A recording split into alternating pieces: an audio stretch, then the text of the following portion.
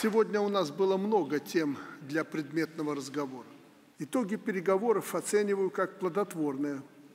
Сотрудничество между нашими странами развивается.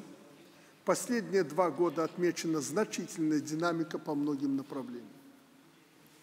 Египет был и остается для нас важным, надежным партнером в Африке и на Ближнем Востоке. И мы приветствуем избрание Египта председателем Африканского Союза. Наша страна стремится укреплять отношения с официальным Каиром на принципах равноправия, взаимного уважения, доверия. Мы выстроили свои отношения без всяких предварительных условий.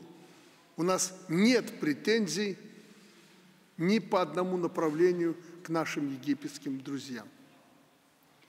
С президентом мы открыто обсудили современную геополитическую ситуацию – я отмечаю схожесть подходов по важнейшим вопросам глобальной повестки дня.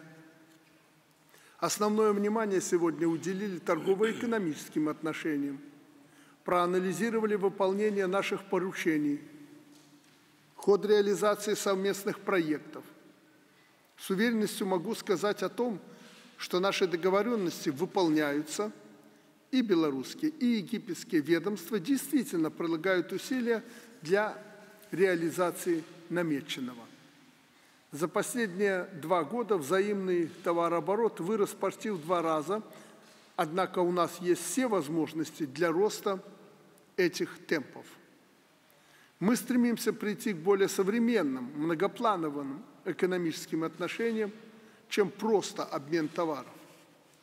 Заинтересованы в реализации комплексных проектов по продвижению белорусской высокотехнологичной продукции в Египет, в создании совместных предприятий с высокой степенью локализации и организации сбыта производимой продукции не только в Египте, но и в третьих странах. Это взаимовыгодный вариант сотрудничества для обоих партнеров. Беларусь также выступает за свободное перемещение товаров и поддерживает предложение египетской стороны – о заключении соглашения о свободной торговле между странами Евразийского союза и Египтом.